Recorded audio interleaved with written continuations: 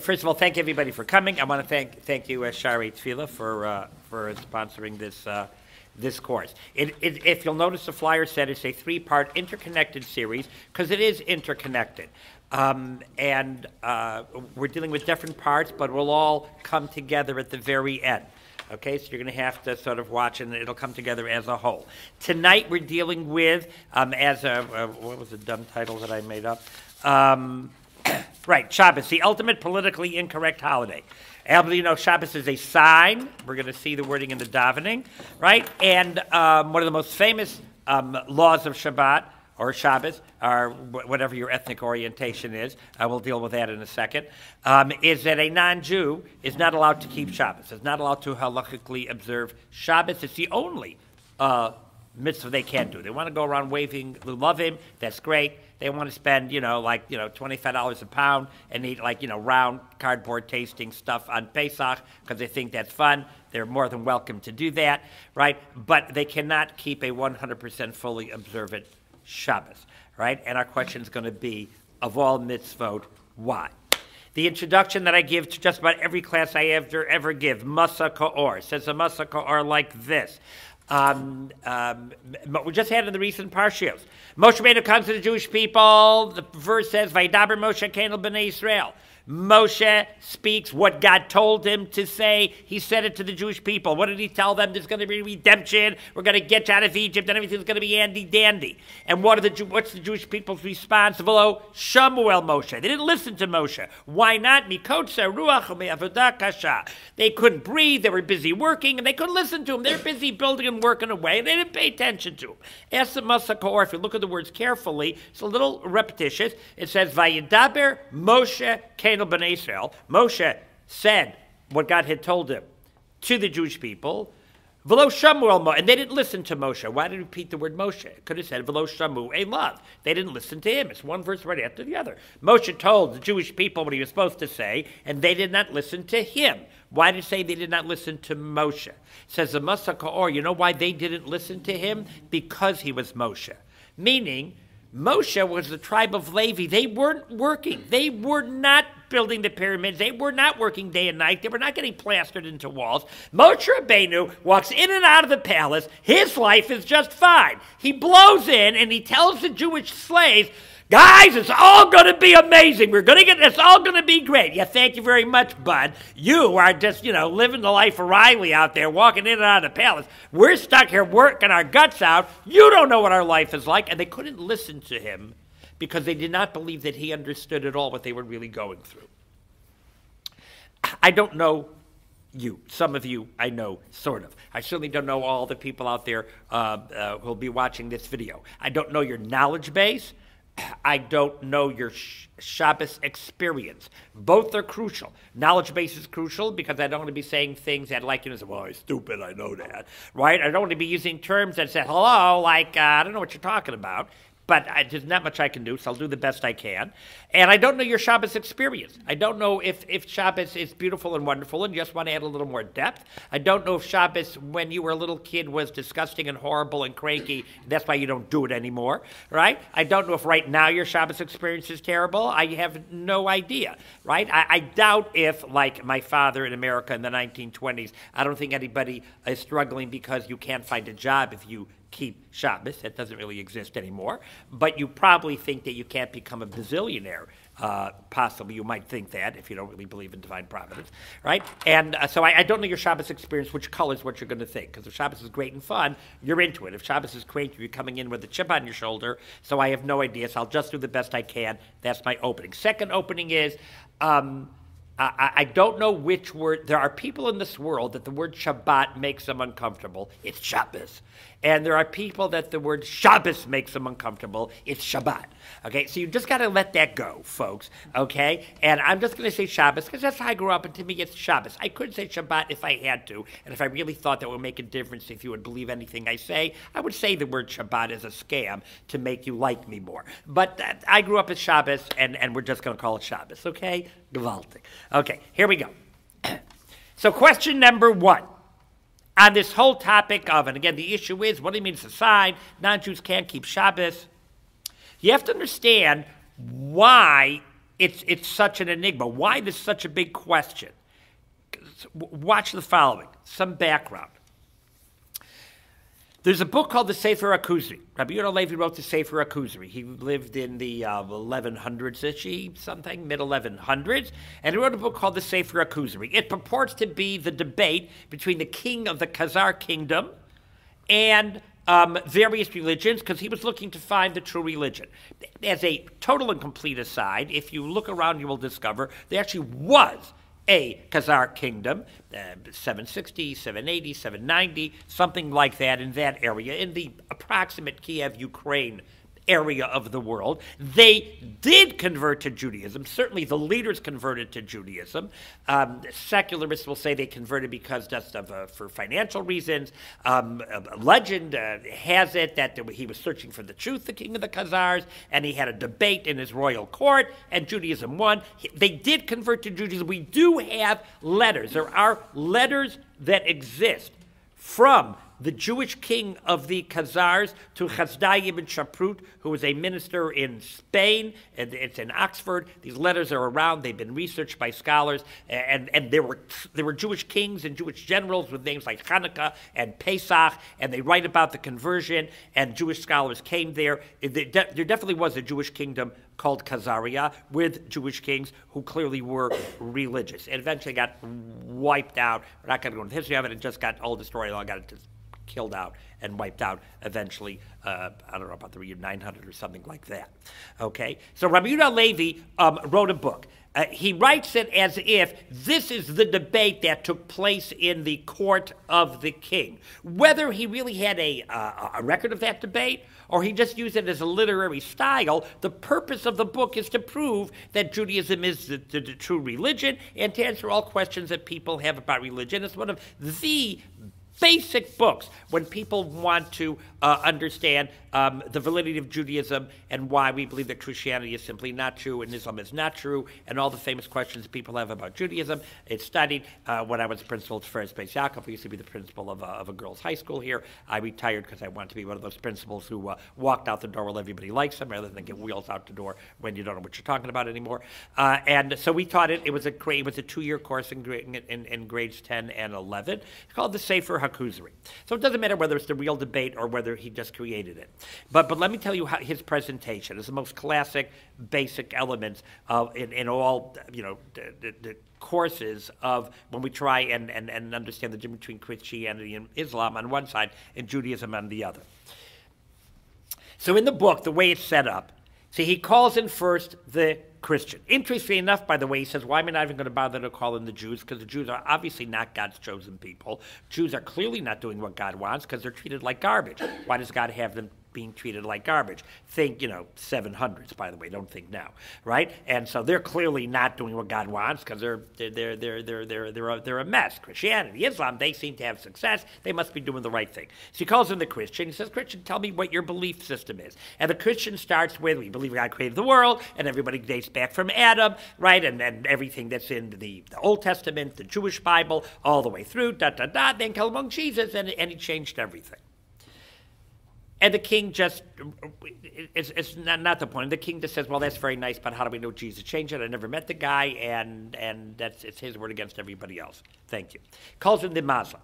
The Muslim says, we believe in creation, and everybody, uh, God created the world in six days, the seventh day, and Adam, and the flood, da da da, everything in the Jewish uh, Bible, da da da da da, right? And then came along Muhammad, and God spoke to Muhammad, and then Muhammad changed it all. And you got to do what Muhammad says.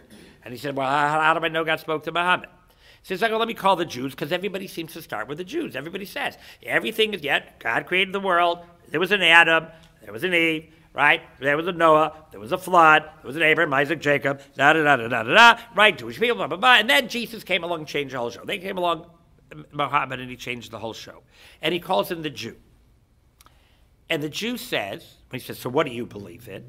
The Jew says, Well, I believe in the God of Abraham, Isaac, and Jacob, and we believe that uh, the Jews were enslaved in Egypt, and God did 10 plagues, and he did miracles, and he split the sea, and he took them out into the desert, and, and, and, and, and, and 3 million people all heard God speak, and 3 million people saw the plagues, and 3 million people saw the sea split, and, and God spoke to 3 million people and gave them the Torah, and we got to do what it says. And the king flips out at him and, and it's like a rant.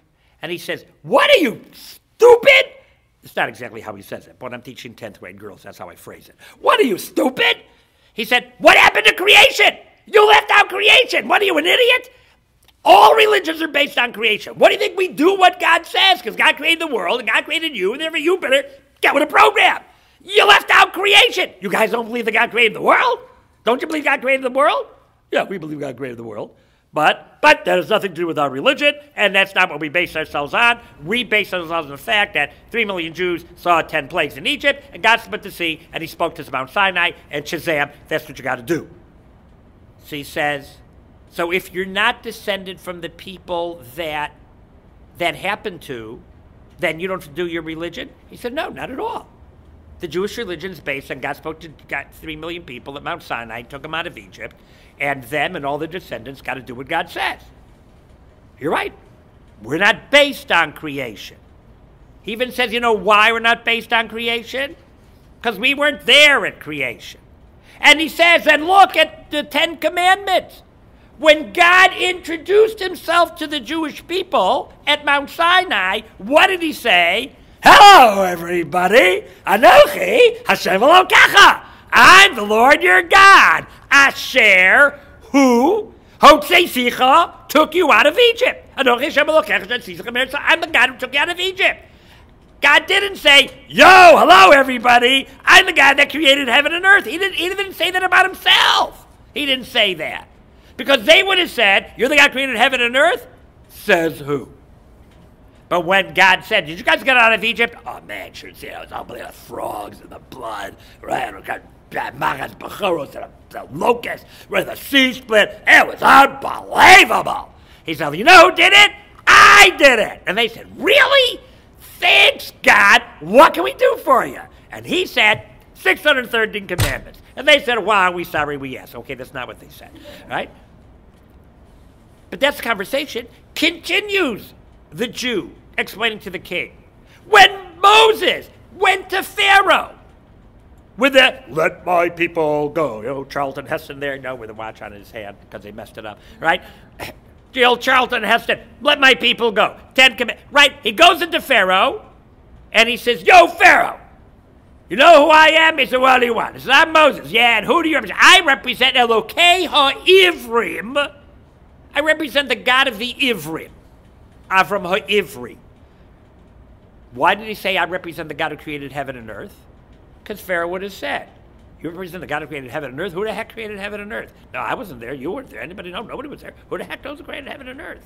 He said, I, you know? I, oh, the God of the Ivrim. That's Abraham. Everybody knew Abraham. Abraham won the world war a couple of years earlier. Uh, Abraham, um, Jacob, they knew Jacob. Jacob came to Egypt. Joseph, you know, they, they, they, they certainly knew the Ivrim. And so Pharaoh said, fine, so what does your God want? He said he wants to let the Jewish people go. He said, well, you know what? You got your God, I got my God. I bet my God's better than your God, so drop dead. And Moses said, okay, we'll see. But Moses did not say, hi, the God who created heaven and earth sent me. Because we don't base ourselves on creation. As a matter of fact, the king even says, so wait a minute. So that means that, that we don't have to do this religion. And they said, absolutely, of course not. Jesus came to save the whole world. And he didn't accomplish that. Maybe he accomplished a lot. but he didn't accomplish that, well, he's going to come back. When he comes back, we'll discuss it. Muhammad came to change the whole world. Didn't accomplish that. Moses never came to change the whole world. We don't change the whole world. It's, it's for us. It's our religion. You want to join? You can join. It's a little expensive, 630 commandments, but you don't have to. Keep the seven, go to heaven. Seven Noahide laws, and you're good. And we're all happy, and everyone's fine, everyone's thrilled. We don't believe in getting converts. You want to join? It's your choice. Because we're not crazy, based on creation. We don't do the 630 commandments because God created the world. If we did the 600 commandments because God created the world, then everybody should do them because God created everybody. We do the 630 commandments because God took us out of Egypt. He chose us, and He did 10 plagues for us, and He got us out of Egypt, and He spoke to us, and He gave us a mission to the world, us and all our descendants. And if you're born into it, you just got to get with the program. If you're not born into it, want to join, you can join. This is the process to join, but you absolutely don't have to, and everything is fine and dandy, and we love you. That's the whole introduction the whole first, I don't know, 60, 80 pages of the Sefer HaKuzari is all based on that, that's, that's, that's his whole introduction. That what makes Judaism unique, we're not based on creation, we're not a worldwide, worldwide religion, we're based specifically on Yetzias Mitzrayim, Zechel Yetzias Mitzrayim, Zechel Yetzias Mitzrayim. Our unique relationship with God is because He took us out of Egypt, and He didn't do that for anybody else. And because of that, we're a unique, special nation. We're the Am Nivchar. We're the chosen people. When non Jews say, you know, you Jews, you guys have a chosen people mentality, that's not true. We don't have a chosen people mentality. We are the chosen people. It's not a mentality, it's a reality. And it's not racist because anybody can become part of the chosen people. You can join. Anybody in the world you want to join, you can join. So if you want to be part of the chosen people, so join. Just stop crabbing about it. Right? Don't argue about it. There's the chosen people and there's not the chosen people. And we're the chosen people. And God chose us, and we're the Am and we're the Am Segula. We have a Segula, which non Jews don't have. Now, this makes, makes some people uncomfortable, but you know what? The fact that you're uncomfortable makes me uncomfortable. So I decided that I'd rather have you be uncomfortable than me be uncomfortable. So I don't care if you're uncomfortable. Because you shouldn't be uncomfortable when you hear truth. And if you disagree with the truth, don't be uncomfortable. Just disagree. Well, me to disagree. There's no concept of being uncomfortable. It's a concept that was just created in today's times because no one wants to talk truth. So they just go by emotions. Side, pardon me, little rant from a seven year old guy who really still believes in values and truth and not I'm okay, you're okay. One and one is whatever makes you comfortable is one and one. Right? Okay, we apologize. Actually, I don't apologize. We are the Am Segula. What does it mean to be the Am Segula? What does it mean we're the Am Segula? We're God's special treasure. So the truth is, there's a beautiful letter from Rav Kook, the uh, first chief rabbi of, of Palestine, right? When it was when it was still Palestine. It's in the context of a whole bunch of other things, right? But but but it's, it's in the book Selected Letters of, of, of Avram Yitzchak Cohen Kook. And and he writes like this. He writes a very beautiful uh, idea. He says, You should know there are two main things that together build the holiness of Israel and the divine connection to them. There's two things that connect us to the divine. The first is Iskula, that we're God's special treasure. And what does this mean? It's the nature of holiness that is in the soul of the Jewish people as a legacy. We inherited it from the patriarchs, from the matriarchs. As it says, You shall be my skula mikol ha'amid. This segula is an inner holy power which God's will was to inlay in the nature of the soul. And it like the nature of everything existing, cannot be changed. If you're Jewish, you're born with it and you got it. You can activate it, you cannot activate it, you can disregard it, but, but you got it. Because it exists. And whatever God created exists forever. Who am I?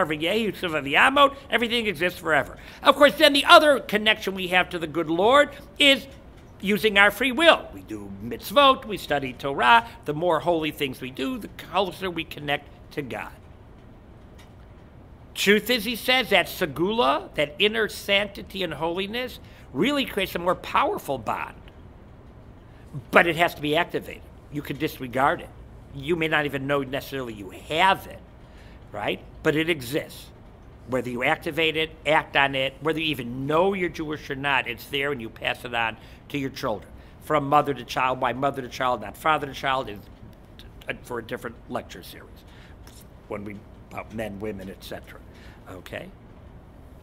Rav Kook goes on, by the way, to explain. He said, in the footsteps of the coming of Mashiach, Ikvas of the Mashiach, right, as we are getting closer and closer, we all know that the, the, the tell us the world will only exist for 6,000 years, and we're in 5,780. There's only 220 to go. Clearly, you see world history is accelerating at a dramatic pace, right? Chofetz Chaim's famous concept is you see we're getting closer to the end of times, right? If you look at world history, it, it usually developed quite slowly. If you would take a human being who lived in 1450 and parachuted him into 1550, he wouldn't find life much different. And if you went from 1550 to 1650, he still wouldn't have found life too much different. 1650 to 1750, a little more. 1750 to 1850, Industrial Revolution. 1850 to 1950, wow, airplanes, television. 1950, you don't have to jump 100 years. 1950 to 1990, 1990 to 2000, 2000. Go back five, ten years, and what's the world different?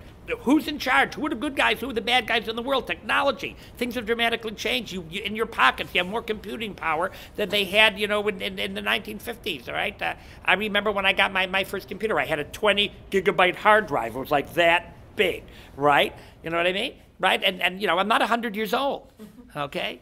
World's accelerating at a dramatic pace. We're at the end of time. Says Rav Kook, at the end of times, the power of Segula will become greatly strengthened in order to bring the Jewish people closer so they'll be attuned to the arrival of the Mashiach. He said that's why you can find Jews who do bad deeds, right? Meaning they you, free will wise, they claim they don't believe in God and they don't believe in the Torah, yet they're unbelievably connected to the Jewish people. We never had that. People converted out and left. People left the shtetl and never came back. People converted to Christianity because financially it was more viable. The concept of people who were not Torah observant but felt very Jewish is a new phenomenon, you understand. Historically, that never existed, right? It never existed. Either you were in or you were out, right? The concept of, you know, uh, were there any Jews on the plane, right? You know, where, where does that come from? That's the school. As we get closer to the time of Mashiach, there's that inner skula right? Why does he, Theodore Herzl, his original, Theodore Herzl's original plan, remember, was how he's going to solve the Jewish problem, right? His plan was what? Was to have everybody convert to Christianity, right? Which was smart and made it actually a heck of a lot of sense, right? And but it wouldn't fly. He, he was so disappointed, he was so bitterly disappointed that no one would buy into that because it made so much sense. And all his friends, none of us, you, you don't believe in Judaism, you don't believe in Bible, you don't believe in anything, convert to Christianity, and then you can go to university and no one will bother you. And he couldn't understand why it wouldn't fly. It wouldn't fly because of Segula. There's that energy which sense. People just feel there's that sense, and we all, and in today's day and age, we see it more and more and more. Jews have that, non Jews don't. And therefore, non Jews don't, and therefore, Judaism is for Jews who have the skula. By the way, when you convert, if it's something you're born with, as the Sefer Kuzari explains, it started with Adam. Adam had it. It went down one person to one person. Eventually, Abraham got it. Abraham passed it to Isaac, Isaac to Jacob. Jacob passed it to all his 12 sons. And then at the covenant at Sinai, when we became the Jewish people, when God spoke to 3 million people simultaneously, bam! Everybody got it, for better, for worse. It then switched and got handed down by mothers, not fathers, which is a different topic, as I said. And now everybody's born with it, for better, for worse. How did, how did converts get it? They're born again. You know the concept of born again Christians? They stole it from us. Of course, that's exactly where it comes from. The Gemara says, a dummy. A convert who converts, they're like a newborn baby. So much so a newborn baby that in absolute theory, if a brother and sister convert, they're really not brother and sister because they're newborn and they're not really related and theoretically they could marry each other. Okay, they don't, but in an abstract concept. So here we go. So the Jewish people are based on the fact that they have this inner skula, which came onto the Jewish people at Mount Sinai. We base our religion not on creation. We base our religion on Sinai. That's why only those who were at Sinai and their descendants have to do the religion in the first place. Yet, what's Shabbat? What's the most famous prayer of Shabbat? Shamru Shabbos, right? You know, you say that when you hold that little plastic cup of grape juice. That's this, this Kabbalistic reasons. Plastic, the numerical value of the word plastic relates to God, 70 times God is plastic. I just made that up.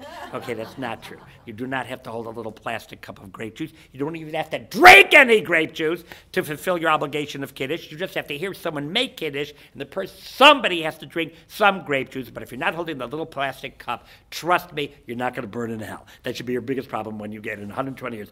You need all that little plastic cup of grape juice. But I see people like freaking, I don't have my plastic cup of grape juice. Shabbos. Jewish people keep the Shabbos, right? Friday night, we say it in our davening. In Carlebach minyanim, it's become famous to put the Carlebach tune to it, okay? V'shamru b'nei Yisrael Shabbos. Jewish people keep the Shabbos. Lasot et Shabbat ledoro sam bariso lam. We keep the Shabbos forever as a everlasting covenant, Beini uvein b'nei Yisrael. This is a sign, a covenant between me, says God, and the Jewish people. Because non Jews don't have Shabbos. Oh, see, Leolam, it's an everlasting sign that what? God created the world in six days, and on the seventh day he rested. What? It's a sign between me and the Jewish people that God created the world. But Judaism is not based on creation. Goyim also have creation. The whole point of the Sefer Kuzari was that when the Christian said, What do we believe? He started with creation. When the Muslim said, What do we believe? He started with creation. And when the Jew said, What do you believe? He didn't even say creation. And yet, what's Shabbat? Creation, and non Jews can't do it. That is the problem. You hear it? Gewaltig. Next problem. As you may or may not know, either you like, I knew that, or like, hey, that's so cool, I didn't know that, right? Uh, one of the two, is that um, during the week we pray three times a day, Shachris Mincha morning, afternoon, and evening, the prayer service, the Amidah. The Amidah is really what prayer is. Everything else is introductory or finishing up. When we talk about prayer, obligation to pray, to pray three times a day, we talk about the Amidah with the silent, the Shemona Esrei, called Shemona Esrei because Shemona Esrei is 18 and there's 19 blessings in it. But why, why is it called 18 when there's 19 blessings? Jews are usually pretty good at math. Is also not part of this discussion because there was originally 18, then they added in a 19th. So it's called Shemona Esrei or Amidah because we say it's standing up. The Amidah for Shachris Mincha is, is, is ex- basically exactly the same. Certainly the middle brachot are the same. One little brachat the Sim Shalom Shalom Rav. If you daven Nusach Ashkenaz, right, is different. But otherwise it's the same. Three times a day the same. Three times a day the same right? If you're davening on, on, on, on, on holidays, three times a day the same. Shabbat, they're not the same. Did you know that? The Friday night Amidah, the Shabbos morning Amidah, and the Shabbos afternoon Amidah ain't the same. Watch. The Friday night Amidah, well, the opening three brachot and the ending three brachot are always the same. That's the structure of Shemon right? Opening three brachot, which we uh, uh, we discuss God's power because no point in talking to God if you don't think He controls stuff. And the ending is in which we thank God for all the stuff we got because you don't ask and say, "But how about thank you for what you already do have?" Oh yeah, I, and thanks for what I do have, right? But the middle is the middle. Friday night, the middle is the section from Genesis, from Bereshis which talks about Shabbat. God finished the heaven and the earth. He finished all the work that he did. And God rested on the seventh day, and he blessed the seventh day. Because on the seventh day, God rested from all the work that he did. Discusses creation. Weiter, back to creation. What's this creation? I mean, it does represent, right? Seventh day he rested, right? But that's talks about creation. Shabbos morning. Shabbos morning, what do we say? Yisma, we don't say Vayechulu. We don't read that chapter, that section from Genesis, from Bereshis, which discusses that Shabbat is the seventh day, the day that God rested. We don't mention that. We talk about Yismach Moshe b'matnel chelko kievenemon karasalo. Moshe should be happy with that great gift that he received. He received the luchos at Mount Sinai. He got the tablets. He got the Torah. Evenemon kalil tiferes broshona sata bamdol fanechal har Sinai. Moshe stood up on Mount Sinai. Ushnei luchot avanim harid biyado, and he brought down the two luchos, which Kosubem Shemir Shabbos, which in the Ten Commandments on those two tablets, it happens to mention Shabbos. But we're talking about Mount Sinai.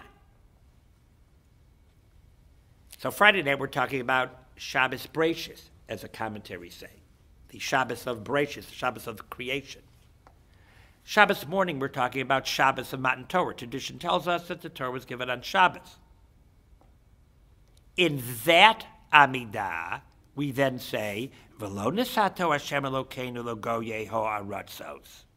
God did not give Shabbos to the nations of the world. Lo hin chalto. He didn't give it as an inheritance. Lo ovde psilim to those who worship idols. V'gam bemenuchato lo yishkenu arelim. Non-Jews may not rest on the Shabbat. Ki Yisrael amcha nesato bi'ahava. You gave it to your nation Israel. Zera Yaakov asher bam bacharta. You gave it to the descendants of Yaakov that you chose. Shabbos morning, we mentioned non Jews are not allowed to keep it.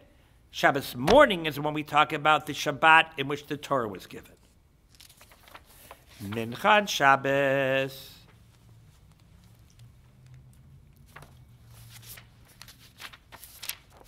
What do we talk about? Ata echad, ata echad, b'shemcha echad, amikyamcha Yisrael. Some synagogues sing it if the tune rings a bell. Ata echad, you are one, shemcha echad, your name is one, mikamcha Yisrael, goyecha bars, and your nation is single, teferes gedulav ateres Yeshua, yo menucha kedusha lamcha, asata Avram, goyel, Yitzchak, Yaakov, menucha semes, menucha shalom, hashket, betach, menucha shlema, total rest, peace, calm, comfort. What total peace? What calm? What comfort? We're not in total peace. We don't have calm. We don't have comfort. Say the commentaries. You know what Shabbat is talking about? Messiah coming. The days of Mashiach are called Yom Shekulo Shabbat. When the Messiah comes, every day will be Shabbos because there'll be calm and peace and no war and no troubles and no pain and no sickness and we'll all be calm and restful. Friday night we talk about Shabbos Bereshit, the Shabbos of creation. Shabbos morning we talk about the Shabbat, the day that, that, that God gave the Ten Commandments. And there's where we mentioned non-Jews can't do Shabbat. Shabbat Mincha we talk about the Shabbat, the days of the Messiah, which will all be like Shabbat. What's going on here? So what, what is Shabbat? So Shabbat we, is creation? Shabbat is a prelude to the Messiah? Shabbat represents giving the Torah at Sinai. What, what, what, what's Shabbat a symbol of? What are we thinking about on Shabbat? Well, let's look at Kiddush, folks. What do we say at Kiddush?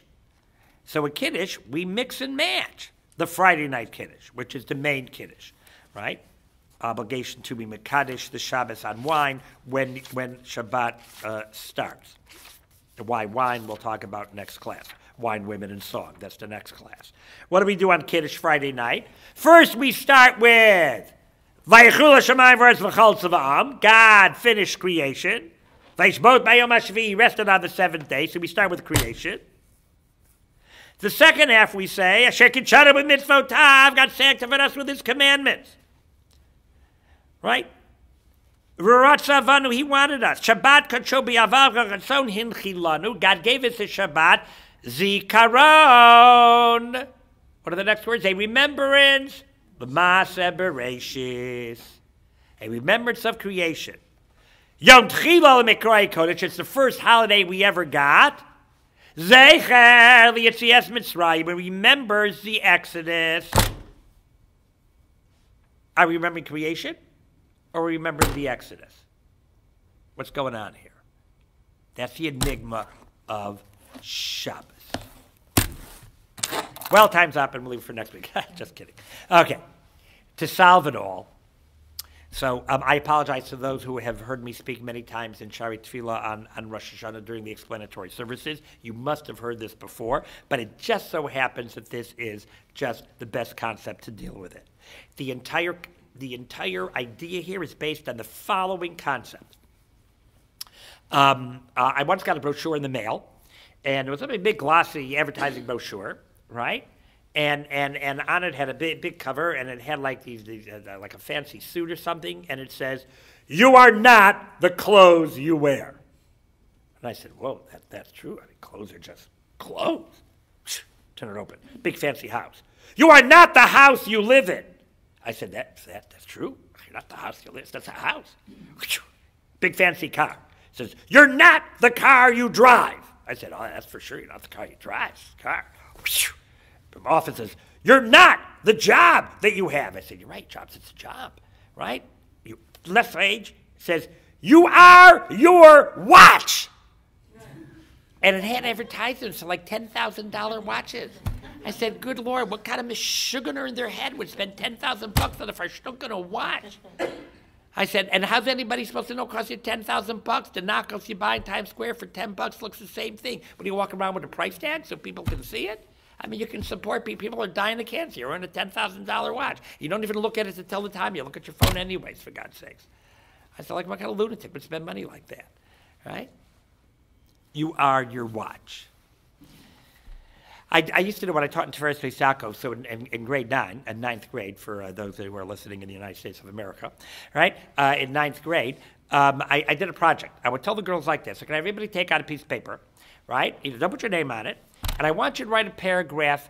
Just who are you? Just who are you? Without using your name, obviously. No name. Just who are you? Right? Who are you? What are you? Who are you? Describe yourself. Who are you? And then we collect them and we read them. And I would point out, look what different kids wrote. Some kids wrote, I'm the third uh, child in a family of, of, of you know of, of, six kids, and uh, right. Some people say I'm, I'm, I'm you know I'm five foot you know four feet tall with brown hair. Some people describe them based on their family, right? You know I'm the fourth kid, and I have a father who's a lawyer. My mother's a da da da. Some kids describe some what they look like. I'm five foot this, and this color eyes, this color hair. Some says I'm, I'm very athletic. And some kids describe, you know, I'm, I'm very sensitive, I'm very intuitive, uh, right? How do you describe yourself? So my purpose was, who and what do you assume you are? If, if your understanding of who and what you are is that you're five foot two and you have you know blonde hair and you have a nice complexion, so if that's all you have, you know when your pimples start breaking out, you're going to fall apart. You have no identity, right? and, and, and if you describe yourself by you know who your parents are, but so you know when the when the marriage falls apart, they get divorced, so then you are nobody, right? And of course, who are you? See, there's what you do, and there's who you are. What you do should reflect who you are, not that what you do creates who you are. We're going to do that again. There's what you do, and there's who you are. What you do should be a reflection of who you are. You do not use what you do to create who you are. Shalom what's your name? Name's Ruven Schwartz. Oh, hi, Shalom Ruvain Schwartz. What do you do? I'm a lawyer. What did he say? I am a lawyer. No, you're not Ruven Schwartz. You are not a lawyer. You do lawyering. That's what you do. But who are you? I'm kind. I'm selfish. I believe in saving the whales. I struggle with A, B, and C. That's who you are. For 9, 10, 11, 12 hours a day, you do lawyering. You do architecture. You do doctoring. That's what you do. But we've been so ingrained in Western culture that I am a doctor, I am a lawyer, I am an architect. It's what you do, it's not who you are. Let's take it deeper. Very difficult concept. Bear with me. Kabbalists tell us like this. Shri Das talks, um, yes, Shri Das talks about this at length, right? We say every oh later. I, don't know what you. Everybody says everybody says Aleinu, right? We get to the end of the what do we say, right? Efes Malkenu, Efes Ulaso. Efes Mal. There's nothing else but God. Ain. There's nothing else. There is nothing else in the world but God. Ki, Hashem hu Elokim, b'shamayim mimal. God is in total, he's up in the heavens, ala oris mitachas, God's down here on earth, Ain od.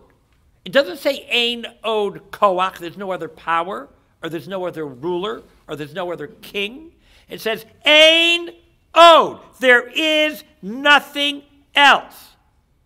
Before that, we say, uh, שונות השמיים ויעשה לו בעץ ומשה יקר השמיים ממעל שכינה סוזה בגבר ימים הוא אלוקינו אין עוד.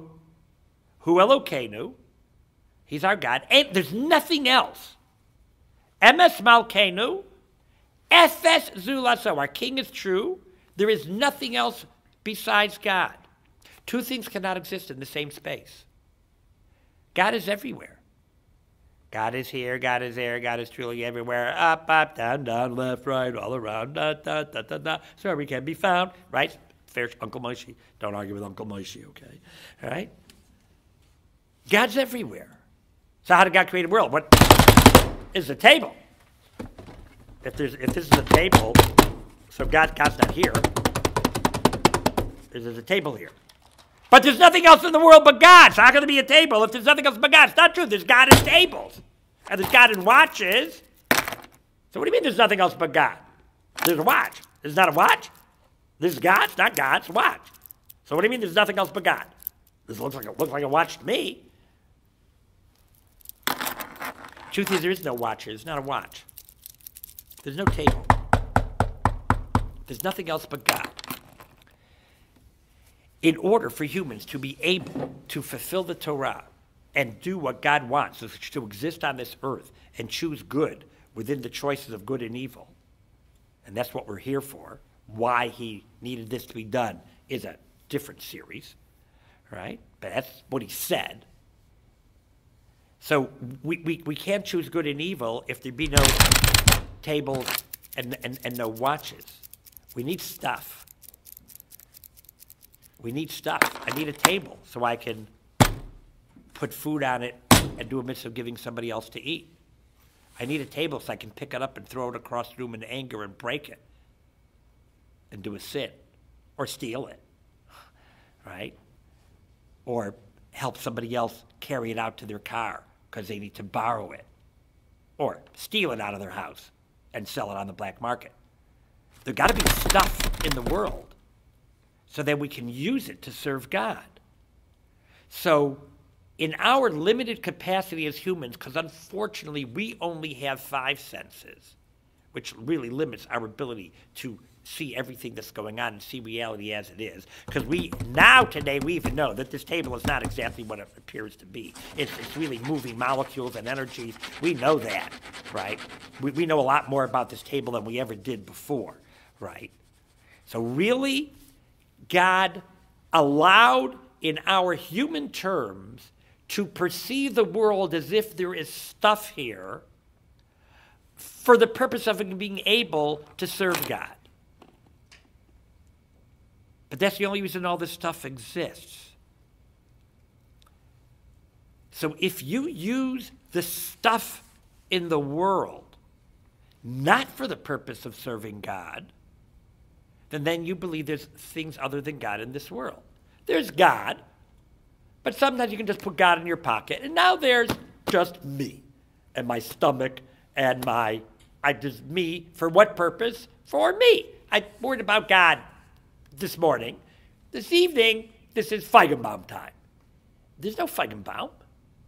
Feigenbaum is here to serve God in order for Feigenbaum to serve God, he needs to be well fed because he can't serve God very well if he's hungry. In order for Feigenbaum to serve God, he needs clothes. And in order for Feigenbaum to serve God, he needs to get a good night's sleep. In order for Feigenbaum to serve God, um, he needs sometimes to take a vacation. Otherwise, Feigenbaum's going to be really cranky and he won't be able to do the mitzvah of being nice to your wife and being kind and patient with people because God created humans that they need vacations. In order for Feigenbaum to take a vacation, Feigenbaum needs money. In order for Feigenbaum to get the money, in order to be able to buy the food which will keep him well fed so that he could do mitzvos and teach Torah and hold doors open for little old ladies and, and give people rides in his car. I can't have a car in which to drive to synagogue to and give rides to people to unless I have money to buy that car. In order to buy the car, I have to go to work and do whatever I got to do, right?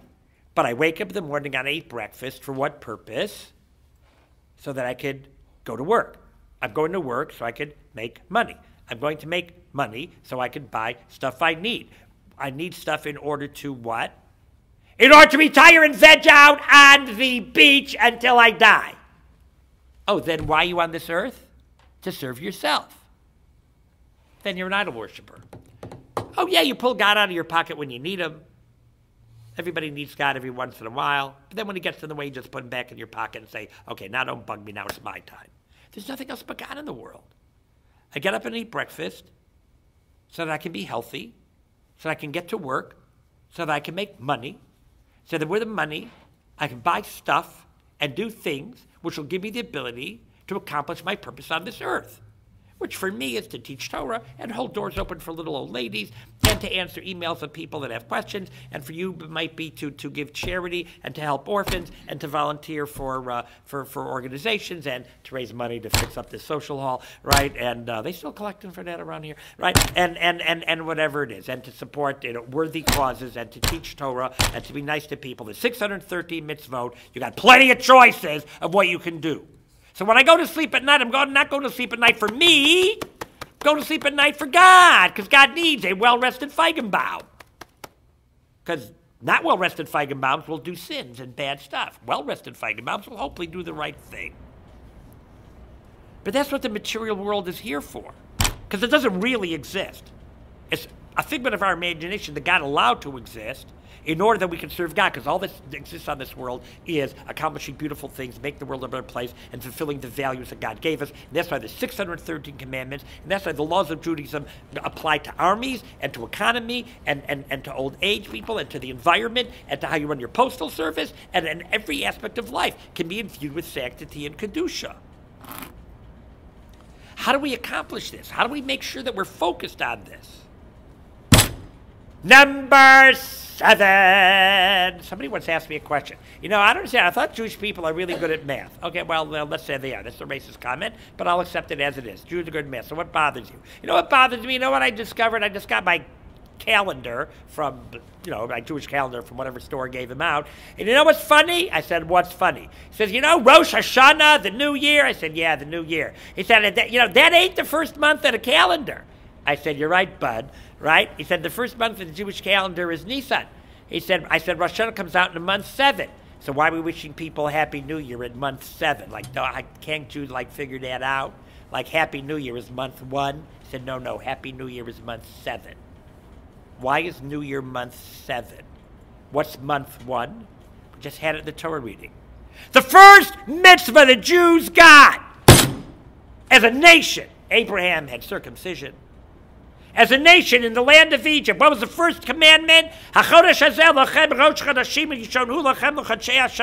This month, the month of Nisan, the month of the Exodus, that will be the first month of the year. That was the first thing. Moshe God says, Moses and Aaron, yeah, we're Korean Jewish people, yeah, we're all pumped up, yeah, we're all pumped up, man. Okay, it's gonna be a Jewish nation, it's gonna be great, it's gonna be, you're gonna have a lot of commandments. Here's the first one, you ready? Number one, number one, God, what's it? Let's go. What's the very first thing we gotta know? You know the first thing you gotta know is? What? That the month of Nisan, yeah, that's month number one. Yeah, yeah, and, and, that's it. Thank you very much. Oh, and also you're going to have to bring a paschal sacrifice, and you're also going to have to eat matzah, which costs 25 bucks a pound, and you have to clean the refrigerators with a toothbrush, and, and a lot of other stuff. But the first one is, Nisan, that's the first commandment to the Jewish people. Yes! Because we start our year by the fact that we became a nation and we have a value system, we have a purpose on this earth. Do we care about the material world? Absolutely. We celebrate the creation of the material world. But we celebrate it in month number seven. Why seven? You've heard this before from me. Number six represents a material world with no value, the six days of the work week. Amalek, the great nemesis of the Jewish people, the nation that represents evil for the sake of evil. The numerical value of Amalek is 240. 2 plus 4 is 6. And I've told you before, before Purim time, I was taking a haircut when I still lived in Israel. The little Sephardi fellow came in and says, huh? You know what the gematria of Amalek is? I said, yeah, sure. Numerical value of Amalek is 240. He goes, aha, do you know what else is 240? I said, no, I give up. What else? He goes, mas nasa, income tax, is also 240. And dalid vav lamed resh, dollar, is also 240. Amalek, evil. Number six. Six is a material world, the six days of the week. 6,000 years before Mashiach comes. Six represents material world without sanctity. Seven represents the material world infused with sanctity. Eight is above. The Mosa Mashiach, when Mashiach comes, the world will stay the same. most opinions. It just will be clarity, it'll be truth, and there'll be values because people will get it. Shabbat is seven. We've been to this before. You know Shabbat, the number seven, one. I've done it a thousand times just in case people haven't heard it. How do you start Shabbat? You light candles. What's the Hebrew word for a candle? Nair. Nun Resh. Nun is 50, Resh is 200, 250, 2 plus 5 is 7. What do you do after you like candles? You make Kiddush on wine. Hebrew word for wine, Yayin. Yud, Yud, Nun. Yud is 10. 10, 20, and another 50 is 70. That's 7. After the wine, what do you do? You make a motzi and challah. Ches, lamed, hey. Ches is 8. Lamed is 30. That's 38. Hey is another 5. 38 and 5. 43. 4 plus 3, 7. After the challah, what do you have? You have fish, dag, dalid gimel, 3 plus 4, is 7. After the fish, you have soup, mem, resh, kuf, marak. Mem is 40, resh is 200, 240, plus kuf is 100, is 343 plus 4 is 7. After the marak, you have meat, basar, dagim, b'chol basar, beis, shin, resh. That's shin and resh is a, is, is a 500, a uh, base is 2, 502, 2 plus 5 is 7. Shabbat is 7. Shul doesn't work, okay? Uh, but Kugel does. I think if you spell it Kigel, one of my students once figured that out. Depends if you say Kugel or Kigel. Shabbat is 7. How do we greet people on Shabbat? Shabbat Sameach? No. What do we say? Shabbat Shalom. Shalom is 376. 3 plus 7 is 10. 10 plus 6 is 16. 1 plus 6 is 7. Shalom is shlemut, peace. Wholeness. The word shalom means peace. Shalem means completion. Wholeness. Because it's the material world and the spiritual world all fused together for one purpose to serve God. So we celebrate Shabbat by eating and drinking and you need you're, you're obligated to have special Shabbat clothes and special Shabbat foods. And if you have little kids, they have their Shabbat pajamas, and all my grandchildren have their Shabbat cereals. That's when they can have their sugared cereals. They have their Shabbos pajamas and their Shabbos cereals, and we have our Shabbos clothing and our Shabbos hats and our Shabbos suits and our Shabbos tablecloths, because we infuse the material world with sanctity.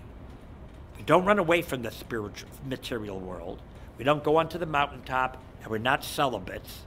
And we drink wine and we marry women, wine, women, and song. That's next week. But we infuse it with sanctity. Because what's the greatest peace? Birchas Kohanim, the blessing that the priests give out. Yivarech Hashem v'yishmerecha, God should guard you. Yisah Hashem panav v'chuneka. The last one. Ayer Hashem panav v'chuneka. The last one. Yisah Hashem panav v'lecha. Yasem lecha shalom. That's how it ends. Yasem lecha shalom. God should give you peace. Lecha is singular. Isn't peace between people? Shouldn't it be v'yasem lachem? God should give you plural peace. You should all get along in peace. You can't get be in peace with everybody else if you're not at peace with yourself. Yasem lecha shalom. God should give you peace. Shabbat is peace. Because Shabbat takes the material world and tells you it's a tool. It's not an end. Don't, you want to be spiritual? Don't run away from the material world. Conquer it. Take advantage of it. Use it to accomplish something. Use it to reflect who you are. Don't use it to create a persona. Use it to reflect who you are. You need to do mitzvot. You need a car to go do mitzvot. So you need a car. Your car doesn't create you. You create your car. So when you're buying your car, you're buying it as a tool to serve God, not as a way to make yourself into a somebody. Look at the car I got. You're not building a house. You're building a physical structure for your home because you can't have a home in the middle of a park. A home needs some beds and some walls and heating and air conditioning. What's the numerical value of Shabbat? Shabbat is 702. Shin is 300. Bays is 2. 302. Tough is 400. 702. 7 and 2 is 9. Isn't that a problem, Rabbi Feigenbaum? No! You know what 9 is? Told you a thousand times! Nine is Emes, truth. Aleph is 1, mem is 40. 41 plus 200 plus tough is 400, 441. 4 plus 4 plus 1 is, is 9. Truth is 9. Why is truth 9? Because 9 is a universal number. 9 times 2 is 18, 1 plus 8 is 9, 9 times 3 is 27, 2 plus 7 is 9, 9 times 4 is 86, 3 plus 6 is 9, 9 times 9 is 81, 1 plus 8 is 9, 9 times 7 is 9 times anything is 9. Because truth is truth is truth is truth. No matter what you do with truth, it'll all boil down to truth. And if you're keeping Shabbat and you're celebrating Shabbat and you understand the relationship of you and the material world, you'll always have truth. But the material world is dangerous, my friends. It's very nice if you make it. You're right, it has to be the first, but it's very dangerous. You could get messed up if you're involved in the material world. It could take you over. Wouldn't it be safer to just stay away from the material world? Go up on that mountaintop, just never get married, take a vow of silence. Wouldn't you be safer that way? It is dangerous. And it got misused. Adam was created and he had Shabbat. Seven day creation, he had Shabbat. One of the famous proofs that there must have been a, uh, the creation account must be correct. How does the whole world have a seven day week? Famous proof of the Sefer HaKuzari. The fact that everybody uses the base 10 number, all the monkeys that grew into people had 10 fingers and toes. The fact that the whole world follows the moon of the sun. They looked up all the monkeys that grew into people, followed the moon of the sun. But all the monkeys that grew into people, what, why they decided to divide up that month, that lunar cycle, into by seven? It doesn't divide by seven. It's the dumbest number on the planet. There's nothing in nature that's seven. Who dreamed up the stupid number of seven for, for, for days of a week? A month is approximately 30 days. Make five weeks of six, make six weeks of five, make three of ten. It was a lunatic, stupid monkey ape that came up with the number seven for a day of the week, and all the different monkey apes that grew into people all came up with the number seven. What kind of stupid number is seven? The only reason seven makes sense is because Adam had seven. He passed on but he had seven. Adam had seven. But what happened to the material world? There was a flood because they misused the material world. They didn't appreciate, they couldn't control the material world. And after the flood, things change. The Medrash says that before the flood, there was no such thing as seasons. I forget who it is, a Kli Yakar, this I don't remember who, says the whole idea seasons comes because the world is on a tilt, on an axis. That tilt happened after, after the flood. God said too much materialism. It's too, you can't have a world where there's no season, it's always sun, it's always nice, and it's always easy, it's always beautiful. It got misused.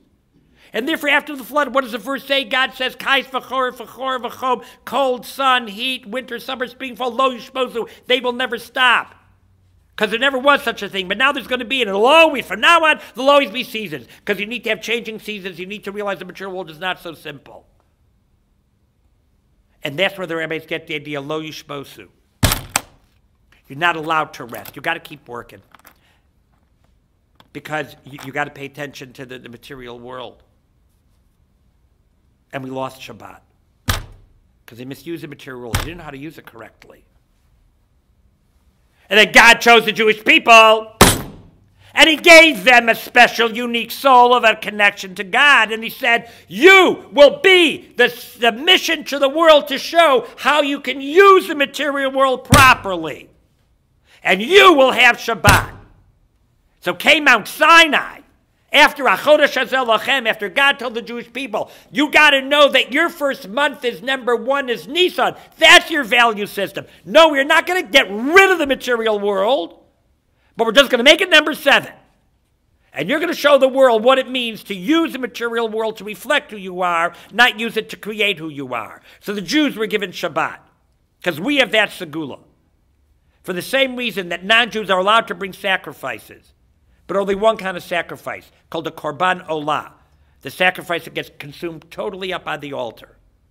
The Korban Shlamim, which part of it is eaten by the person who brings it, part of it is eaten by the priest, and part gets consumed on the altar, which is why it's called a Shlamim, from the word Shalom, peace, because everybody gets to have something of it. Only a Jew can bring that. Only a Jew has a concept of using the material world for spirituality. Only Jews have the concept of I can eat food and that's serving God. The non Jews were not given the segula. They don't have that spiritual innate quality to be able to conquer the material world. And therefore, they may not keep Shabbat, because Shabbat represents number seven. Shabbat represents taking the material world and infusing it with sanctity. They can be sanctified. They want to be sanctified. Let them live on a mountaintop. Let them take a vow of silence. Let them be a celibate. That, that, that, that, that's, to a certain extent, easier. The challenge of taking the material world and using it properly, you got to have the segula to do that.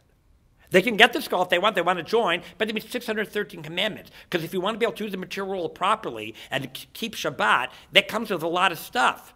You can't just keep Shabbat and nothing else because you, you, you, need to have your whole focus. How you run your business has to be based on the laws of the Torah. The kind of food you eat during the week has to be based on the laws of the Torah. You got to pray three times a day. You keep your soul connected. There's a lot of things you've got to do to keep that spiritual sensitivity. And it culminates in the concept of Shabbat. And therefore, at night when we pray, and night represents darkness and lack of clarity, we mention Shabbat Bereshis, the original Shabbat of creation. Because material world in and of itself, creation, it's hard always to see how to use it. But that's where we start. You got to start with the material world. But the material world all by itself is dark and dangerous. Shabbat day, daylight. We then add in Mount Sinai, Ten Commandments, divine revelation. That gives light to the material world. And that's on Shabbat day, we add in that component.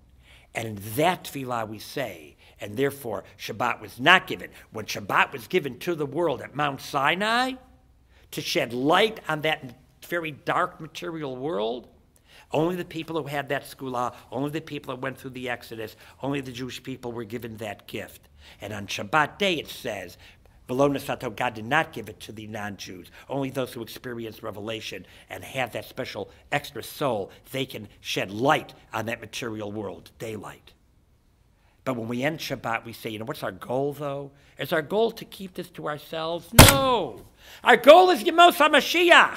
Someday the whole world will come to this recognition. What's going to happen when the Messiah comes? The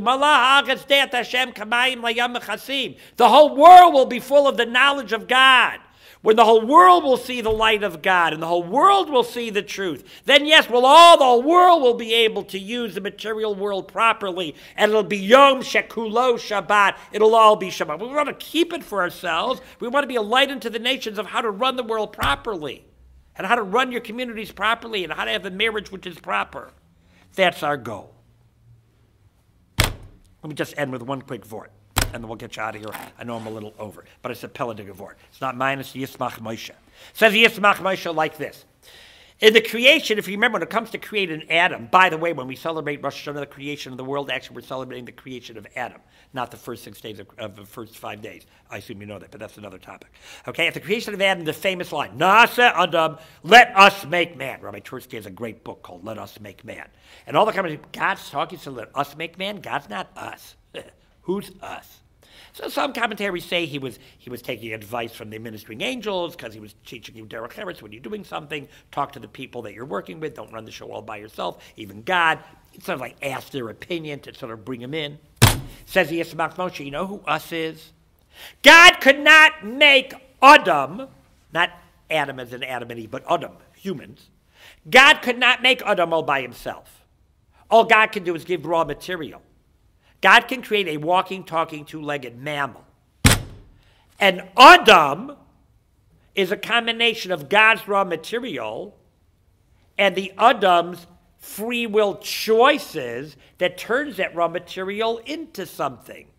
That's called an Adam. Without your choices, you're a walking, talking mammal. You're not Adam.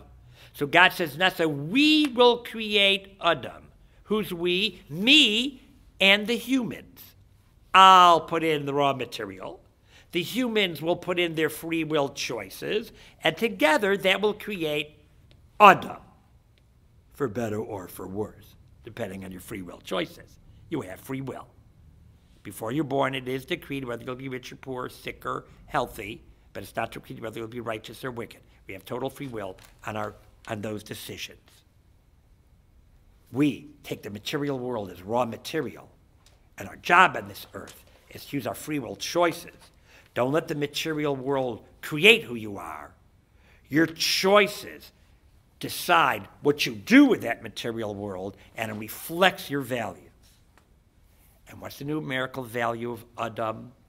Aleph is 1, Dalet is 4, 1 and 4 is 5, Mem is 40, 45. 4 plus 5 is 9. Emes, truth.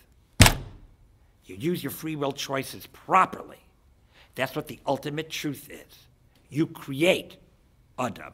You create sanctity in the material world. And Shabbos represents it. What does the Kiddush on wine? What's the singing Eshes Chayil? What's all the Shabbos food about? Just as a hint for next week, everybody knows why do we have two Chalot Friday night? Why do we have two Chalot Friday night? Because the man, the manna that came down in the desert, they got one portion every day, but it didn't come down on Shabbat. Double came down on Friday. Double manna came down on Friday. So we remember the manna. The Hebrew word for manna was mun. We represent the mun. Mem, nun. Mem is 40, Nun is 50, 40 plus 50 is 90. Manna, the basic substance of food, is also 9, is also truth. But we'll pick that up next week in Mirz Hashem. Thank you very much.